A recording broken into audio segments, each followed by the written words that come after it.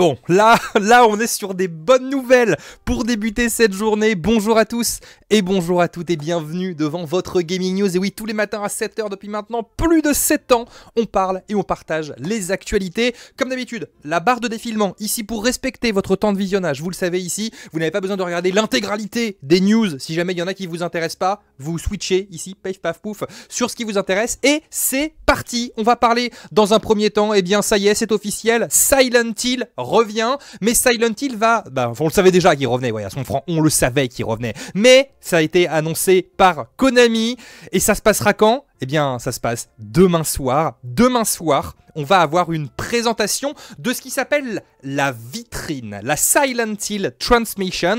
Konami a confirmé qu'elle partagerait des mises à jour du jeu, un aperçu plus approfondi du film, mais aussi des nouveaux produits, parce qu'ils ont parlé de nouveaux produits autour de la licence Silent Hill. On rappelle quand même que plusieurs projets Silent Hill sont en préparation. On peut s'attendre évidemment à ce qu'un certain nombre d'entre eux soient révélés ou développés au cours de ce qu'ils appellent la vitrine technologique. Par exemple, le remake de Silent Hill 2 que vous voyez tourner ici, là, sur le, ce que je vous ai mis en termes d'image, voilà, j'avais un écran noir, mais c'est quand même un peu mieux, bénéficiera probablement à, bah finalement, d'une bande-annonce de gameplay plus longue, parce que ce qu'on a vu là, bon, effectivement, c'était pas transcendant. Je, l'ai déjà dit, euh, visuellement, c'était pas ce qui m'a le plus emballé de ce qu'a fait la Bluebird Team ces derniers temps. Hein, c'est vrai que là, on attend, mais voilà, c'était pas, c'était pas forcément notre gros gros kiff, mais surtout on attend peut-être une date de sortie ou en tout cas une meilleure fenêtre qu'un espèce de râteau euh, chronopost qui nous dit oui, ça sortira entre 8h et 20h entre le 1er janvier et le 31 décembre 2024. Non, voilà, on veut une date de sortie, on veut également une meilleure bande-annonce. Il y aura aussi, je le rappelle, Return to Silent Hill, Silent Hill Townfall et Silent Hill N'importe lequel de ces titres pourrait être abordé lors de la vitrine euh, Silent Hill Transmission qui aura lieu. Certains fans attendent évidemment la révélation d'une grande édition collector du remake de Silent Hill 2, mais il n'y a pas eu de nouvelles à ce sujet jusqu'à présent, avec Konami annonçant une mise à jour concernant les marchandises, dont certainement possible ce euh, collector, mais par ailleurs on pourrait évidemment attendre une sorte d'offre basée sur une statuette ou encore une figurine. Il y a plus qu'assez de personnages ultra terrifiants et emblématiques de l'univers de Silent Hill que les fans euh, peuvent attendre. Et évidemment, eh bien, le 30 mai euh, au soir, on vivra ça évidemment euh, tous ensemble en direct. Et j'ai hâte de pouvoir avoir toutes les informations sur Silent Hill 1, Silent Hill 2 Remake ou encore une fois, enfin tous les projets qui y a autour de Silent Hill que j'ai vraiment très très hâte de voir. Regardez-moi ça. Eh, ces petites images là, elles font quand même vachement plaisir pour ceux qui aiment bien Silent Hill. Donc voilà, j'ai hâte d'en savoir un petit peu plus dans les prochaines, euh, bah, dans les prochaines 24 heures pour savoir un petit peu ce que Konami va nous réserver et à quelle sauce on va être mangé. Mais dans un deuxième temps, on va parler d'un jeu qui euh, arrive sur Nintendo Switch avant de terminer par la Nintendo Switch 2 et l'excellente bonne nouvelle pour ceux euh, qui l'attendent. On va parler eh bien tout simplement de Highlands Nintendo Switch édition. C'est une espèce de mélange, alors je connaissais pas, mais c'est une espèce de mélange entre Minecraft et Sea of Thieves, une espèce de jeu d'artisanat. Euh, si vous voulez, c'est l'éditeur Bohemia Interactive qui a annoncé qu'il apporterait son aventure d'artisanat captivante Islands sur Nintendo Switch à partir du 20 juin 2024 prochain. Il coûtera seulement 24,99€. C'est un mélange donc de Minecraft et de Sea of Thieves qui utilise un style artistique low poly très abstrait et promettant une expérience de jeu transparente sur le changement euh, du monde Évidemment, euh, on a pas mal d'informations euh, concernant cela. Il pourra être joué entièrement hors ligne, ce qui est d'ailleurs une première pour la série. Après le téléchargement et le lancement initial, les joueurs n'auront pas besoin d'une connexion internet pour jouer au jeu. Tous les mondes de jeu, création et progrès des joueurs sont stockés localement, ce qui garantit une navigation fluide et ininterrompue, ininterrompue pardon, ou qu'ils choisissent de jouer. Comme ils le disent, acheter une fois, jouer pour toujours. Bien qu'Islands sur PC soit un titre gratuit, parce que c'était gratuit sur PC, Bohemia Interactive a opté pour un modèle premium à paiement initial plus simple pour la version Nintendo Switch.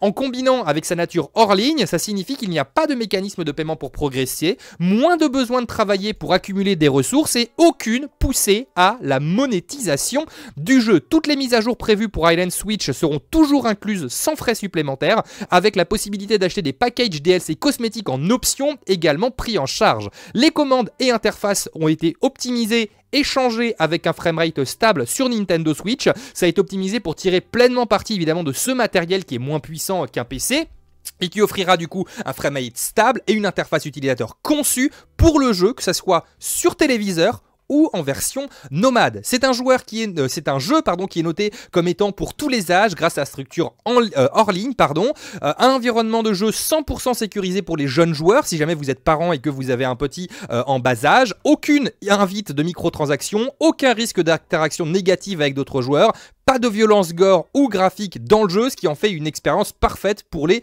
jeunes joueurs. Mode aventure, mode créatif également, mode aventure centré sur l'histoire et mode créatif orienté bac à sable. C'est un jeu que j'ai hâte de découvrir, je ne l'ai pas vu sur PC, je ne l'avais pas testé sur PC, donc eh bien je vais attendre son arrivée sur Nintendo Switch. J'ai prévu de l'acheter le 20 juin prochain pour vous en faire une petite vidéo de gameplay et en parler tous ensemble. Ça, c'était le deuxième sujet, mais on va reparler de la Switch 2 parce que parce que j'aime les consoles portables. Vous le savez, les consoles portables, c'est mon bébé, c'est vraiment le truc que j'aime le plus. Je vous ai d'ailleurs fait mon test complet du Steam Deck OLED il y a maintenant quelques jours que vous attendiez beaucoup, mais les grosses questions sont autour évidemment de la prochaine machine de Nintendo. Vous le savez, officiellement, Nintendo l'a dit, ils l'ont tweeté, la prochaine machine sera présentée avant le 12 avril 2025. Il y a une information qu'on a eue sur cette nouvelle console, c'est qu'évidemment c'est une nouvelle un nouveau modèle de Nintendo Switch. Donc c'est pas une nouvelle plateforme avec des nouveaux trucs et des nouveaux machins. Non, c'est un nouveau modèle de Switch. Mais ce qu'on sait, c'est que on va avoir des nouveaux Joy-Con. Déjà, on va avoir des nouveaux joysticks et on va avoir des Joy-Con qui apparemment auraient une fixation magnétique complètement différent des Joy-Con qu'on avait sur la Nintendo Switch actuelle. Vous le voyez juste ici, paf, ça pourrait se fixer comme ça de manière magnétique et ensuite peut-être glisser à cet endroit-là, là, vous voyez ça, ça là, pour pouvoir eh bien le bloquer. Alors ça, c'est un fan art, hein, c'est quelque chose qui a été créé par quelqu'un, mais en gros cette fixation magnétique, ça ferait clac et ensuite tu le verrouilles avec son petit truc sur le côté. Ça, c'est l'information qu'on avait jusque-là, une fixation magnétique qui va changer les Joy-Con de la Nintendo Switch 2 et qui ne seront enfin, les Joy-Con de la Switch 1, est-ce que j'en ai euh, près de moi Oui, les Joy-Con de la Switch 1, qui se mettent, vous le savez, vous connaissez très bien le bruit, qui se cliquent ici, ceux-là, avec la glissière, eh bien, ne seront pas compatible avec la Nintendo Switch 2. Donc tous les Joy-Con que vous aurez euh, de Nintendo Switch 1 ne pourront pas être glissés sur les côtés de la Switch 2 pour être utilisés. Vous pourrez les utiliser en, Bluetooth, mais vous ne pourrez pas les accrocher dessus. Eh bien, figurez-vous qu'une information a été partagée, vous allez le voir ici, par les fabricants eh d'accessoires pour Nintendo Switch 2. Le fabricant d'accessoires a divulgué qu'il y aurait un adaptateur pour les rails de la Switch 1 afin de connecter les Joy-Con de la Switch 2. Connecté au nouveau contrôleur, il le rend compatible avec le corps de la console et des accessoires. Est-ce que ça fonctionnera aussi dans l'autre sens? Je pense que oui. Donc l'information qu'on a aujourd'hui, c'est que les fabricants d'accessoires sont en train de gérer finalement quelque chose pour le brancher sur la Nintendo Switch 1. Donc les Joy-Con de la Switch 2 pourront fonctionner sur la Switch 1 avec un petit accessoire de compatibilité, mais il est évident que les, que sont en train de travailler aussi, parce que c'est forcément dans les deux sens, pour pouvoir connecter le Joy-Con de la Switch 1 sur la Switch 2. Ça paraîtrait quand même super étrange qu'on ait simplement dans un sens les Joy-Con de la nouvelle Switch qui s'adapteraient sur l'ancienne Switch. Quel serait finalement l'intérêt? La première Switch qui s'est vendue à plus de 140 millions d'exemplaires, quasiment 150 millions, veut dire il y a plein de gens qui ont plein de Joy-Con. Je sais qu'à la maison, on a je veux veux pas vous raconter de conneries, on a je crois qu'on a 5 ou 6 paires de Joy-Con, parce qu'il y a toujours des gens qui viennent jouer à la maison, etc. On a 5 ou 6 paires de Joy-Con. Donc en fait, pouvoir les connecter sur la nouvelle machine, là c'est intéressant. Connecter les Joy-Con de la Switch 2 sur la Switch 1, on s'en bat littéralement les reins. Mais savoir que du coup, il y a des fabricants qui travaillent sur ces accessoires, ça fait vachement plaisir. Je vous rappelle quand même que sur ces 7 dernières années, je me suis employé à vous à acheter, à acheter pour vous présenter il y a énormément d'accessoires pour la Nintendo Switch. Un, qu'il s'agisse de Joy-Con supplémentaires. Personnellement, moi j'utilise simplement les Joy-Con Nixie sur ma Nintendo Switch principale. Je ne joue qu'avec ces Joy-Con euh, Nixie que j'avais déjà présenté, vous pouvez retrouver d'ailleurs en lien dans la description, qui sont à mon sens finalement les meilleurs Joy-Con du marché, hein, parce qu'ils ont absolument tout, sauf la lecture euh, des amiibo. Et encore une fois, voilà, il y a plein d'accessoires que j'ai présentés, des batteries portables, des pochettes, etc.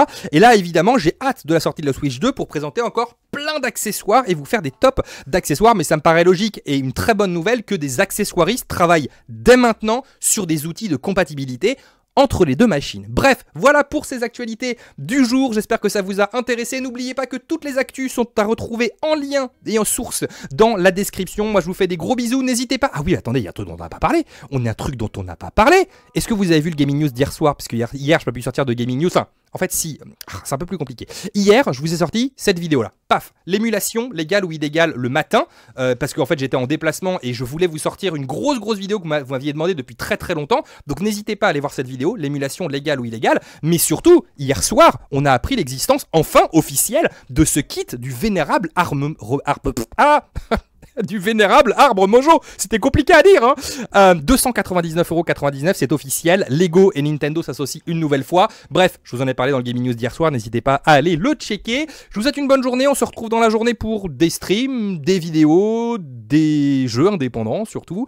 Et je vous souhaite une très très très bonne journée. Salut, salut.